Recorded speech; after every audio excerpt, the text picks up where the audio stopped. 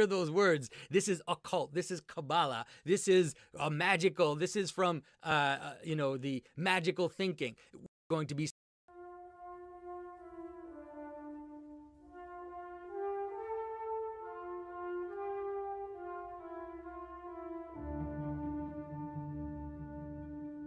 This is Jonathan Pageau.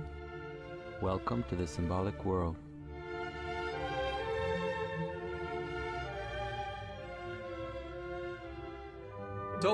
You hear those words. This is occult. This is Kabbalah. This is uh, magical. This is from, uh, uh, you know, the magical thinking. When you hear that, you should be very suspicious because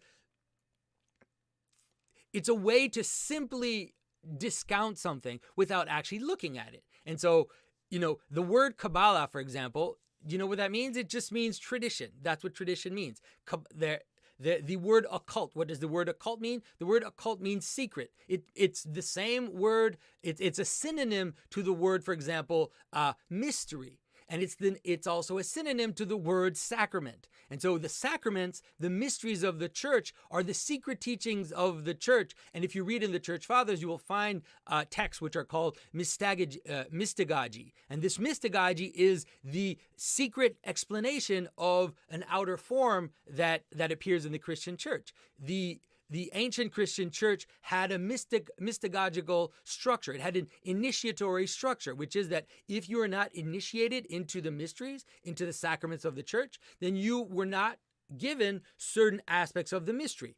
Even today in the Orthodox Church, we have a moment during the liturgy where we say, all the catechumen must leave. That is, all those that are not initiated into the Christian community must leave at this point because what is after that is part of the sacramentality of the church. It is the mystery of the church in which we come together and we we participate in the the uh, the act of communion together. And the act of communion is not without its it doesn't if you look at it objectively it, it looks very strange we are eating the blood and body of the incarnate uh, logos and so the only reason why we don't think that's strange is because it is our culture and it is our own initiatory practice.